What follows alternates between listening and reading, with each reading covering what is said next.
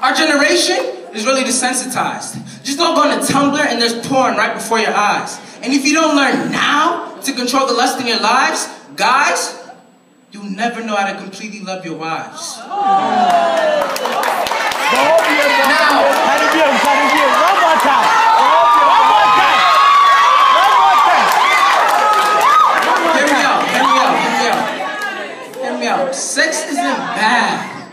It was God's creation.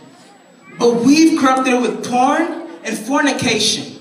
And I know that our friends in the world may have made this seem like a legitimacy, but my question is, why can't we wait till marriage to have daily intimacy? And then there's posts on networks saying, repost if you believe God is real. You go ahead and do so, but you really go by your bed and kneel and speak to the same God who has preserved your life. So think about how Jesus feels. Is that right? It's a shame. We all know his name. But the way I see it, we're playing this game where we decide to live life and have fun before putting sin in the bullet's aim. Now, I've been talking for a while now, but I hope y'all getting what I'm saying. Jesus loves you. That's why he came here to die. So that when you do, your soul could ascend to the sky. But people, if we continue to fornicate, get drunk, and even lie, I guarantee you'll never live eternally with this guy. Luke 13, 3 and 5. Now, Luke 6:46, Jesus asked a very good question. Why do we call him Lord, but then continue to willingly sin after our confession? You may think you're free now from your transgressions, but in actuality, that is a common misconception.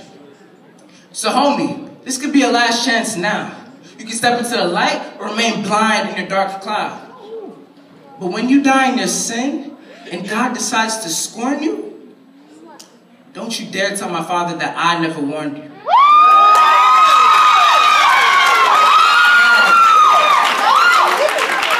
Before the last poet comes, I would just like to very briefly speak on the poem that I just said. I hope that y'all didn't just see it as a performance, something that I just wrote to get people to clap for me. Because honestly, as I was writing it, I was like, I was really praying for something that would have everyone go home like and reflect on my words because there's a lot of us in the church, the church, not outside the church, and we're playing God for a fool, as I said in the poem. And you know, we've got so comfortable with God. We see seem so forgiving and so loving, but we tend to forget that it's the same God that the angels only sent one time, and He didn't just banish them from the hell. I mean, banish them from um, heaven.